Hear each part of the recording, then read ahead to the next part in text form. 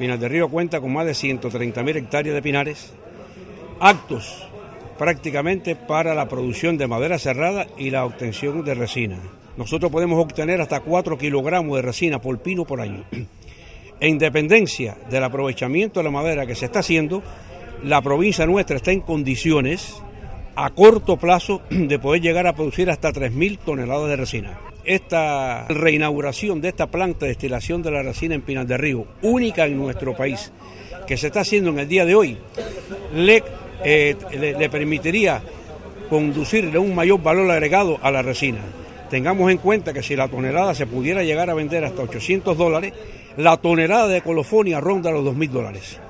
Y es un proceso muy sencillo porque es un proceso por arrastre de vapor, donde las inversiones son mínimas y ello permitiría que la provincia, si llegáramos a producir 3.000 toneladas de resina, estaríamos montados más de 2 millones de dólares de exportación de estos productos.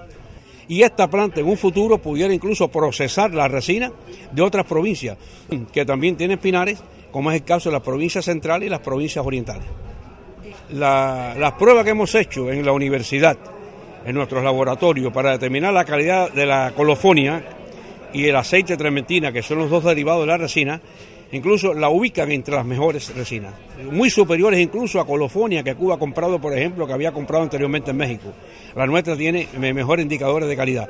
Y con la, pudiéramos decir, con la mejora que se han introducido aquí en esta planta, deben mejorar también estos indicadores de calidad.